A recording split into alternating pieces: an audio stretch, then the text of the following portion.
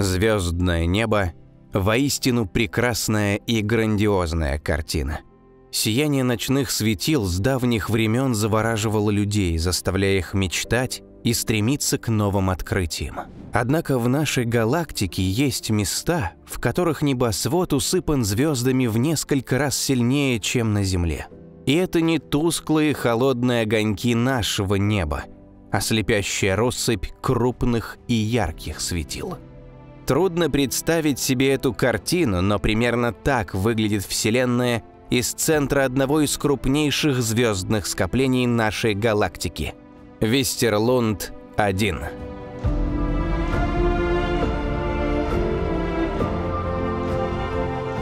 Звездным скоплением называется группа звезд, образовавшихся из одного гигантского облака межзвездного вещества – эти светила имеют практически одинаковый состав и возраст, образуя систему, связанную воедино гравитационными силами. При этом выделяют два основных типа звездных скоплений – рассеянные и шаровые. Рассеянные звездные скопления являются результатом развития звездных колыбелей – областей космического газа, в которых идет активное образование звезд. Поэтому данные скопления состоят преимущественно из молодых светил и большого количества межзвездного водорода. Гравитационные связи внутри них не очень велики, и чаще всего рассеянное скопление распадается спустя несколько сотен миллионов лет после своего образования. Некоторые его члены продолжают совместное движение, образуя звездный поток. Другие полностью отрываются от группы и начинают собственную жизнь.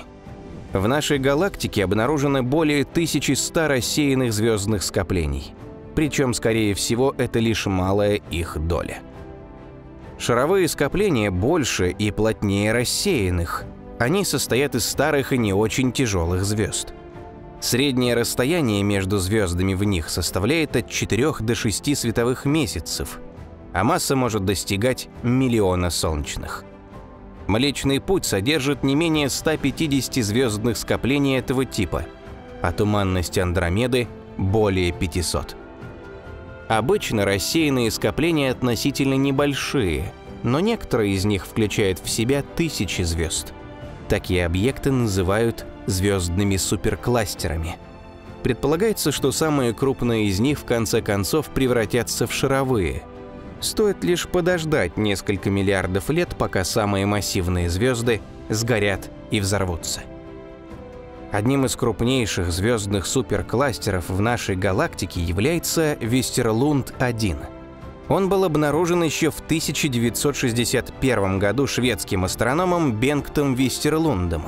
Однако из-за сложностей в наблюдении долгое время оставался изучен лишь в самых общих чертах – Расстояние от центра скопления до Солнечной системы определено приблизительно и составляет от 10 до 15 тысяч световых лет. Это число кажется огромным, но на самом деле Вестерлунд-1 является одним из ближайших к Земле звездных суперкластеров. Поэтому наблюдения за ним очень важны для понимания процесса эволюции звезд. Диаметр Вестерлунд-1 составляет около 7 световых лет. Поразительно – но в столь крошечном по меркам Вселенной участке космического пространства сосредоточены тысячи звезд общей массой около 63 тысяч Солнц. Несложные расчеты показывают, что расстояние между основными членами скопления составляет всего несколько световых месяцев, а для компонентов двойных систем гораздо меньше. Из-за невероятной плотности светил в скоплении и облаков межзвездного газа, окружающих его, Свет тысяч звезд сливается вместе, затрудняя наблюдение и подсчет. Поэтому точное количество объектов, составляющих Вестерлунд-1, пока не определено. Среди них уже обнаружены 6 желтых гипергигантов, 4 красных сверхгиганта.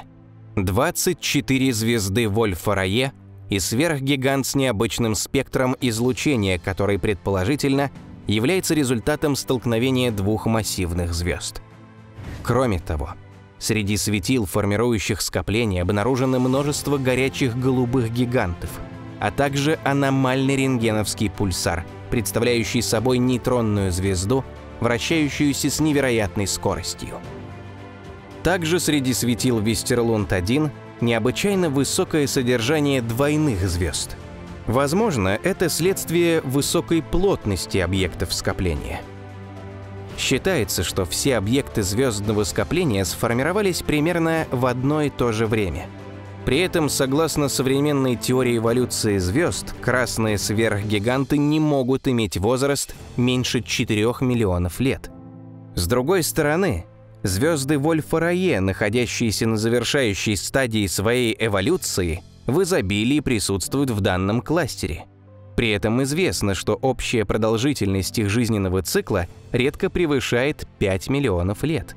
Таким образом, возраст Вестерлунд-1 определен весьма точно и составляет всего лишь от 4 до 5 миллионов лет, секунды по меркам Вселенной. Примерно во время его формирования по Земле уже бродили первые австралопитеки и саблезубые тигры, а динозавров остались лишь окаменелые останки. Математическое моделирование процесса образования кластера показывает, что скопление могло содержать от 50 до 150 тяжелых звезд, которые к настоящему времени должны были уже закончить свой жизненный путь, исчерпав запасы звездного топлива. Если расчеты верны, то сверхновые в скоплении должны были вспыхивать в среднем каждые 10 тысяч лет в течение последнего миллиона лет. Ведь чем тяжелее звезда, тем быстрее она завершает свой жизненный цикл, вспыхивая сверхновой, оставляя после себя черную дыру, нейтронную звезду или белый карлик. Однако пока обнаружен только один подобный объект. Предполагается, что многие сверхмассивные звезды оставили после себя черные дыры, которые крайне трудно обнаружить. Звездное скопление Вестерлунд-1 содержит одну из крупнейших известных звезд, которая носит название Вестерлунд-126. Из-за сложности в наблюдении ее радиус определен приблизительно и лежит в пределах от полутора до двух с половиной тысяч солнечных – если истинный размер звезды ближе к верхней границе, то Вестерлунд 1.26 может быть крупнейшим светилом, известным человечеству. Однако более вероятен радиус чуть больше полутора тысяч солнечных. Тем не менее, даже в этом случае Вестерлунд 1.26, помещенный на место Солнца, поглотил бы все планеты вплоть до Юпитера – Светимость супергиганта примерно в 380 тысяч раз превышает солнечную, однако температура поверхности сравнительно невелика, всего около 3000 кельвинов. Масса звезды пока неизвестна, однако, согласно современным представлениям об эволюции звезд, она должна составлять порядка 20 солнечных. Другим необычным объектом скопления является магнитар с труднопроизносимым названием – который является самым сильным источником рентгеновского излучения в этой части космоса.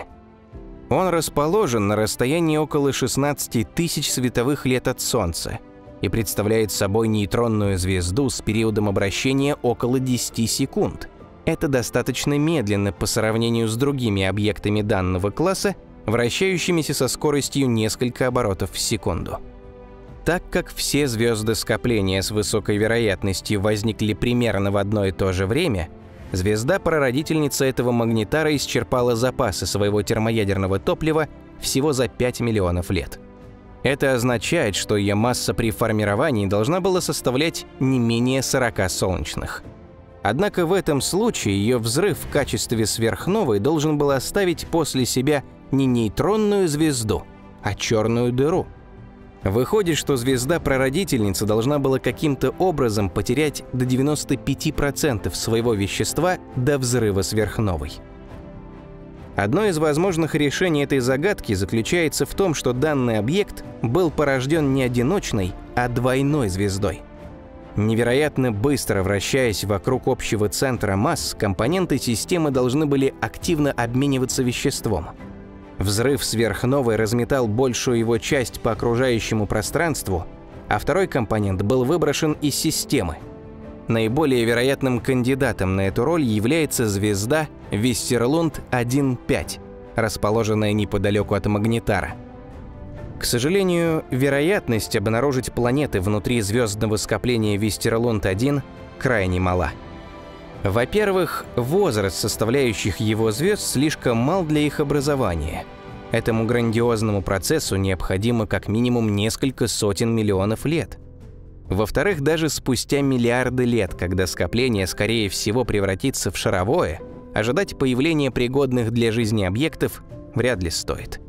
Близость крупных и тяжелых звезд делает орбиты планет нестабильными, а при некоторых условиях прохождение массивного объекта неподалеку от звездной системы может и вовсе разрушить ее.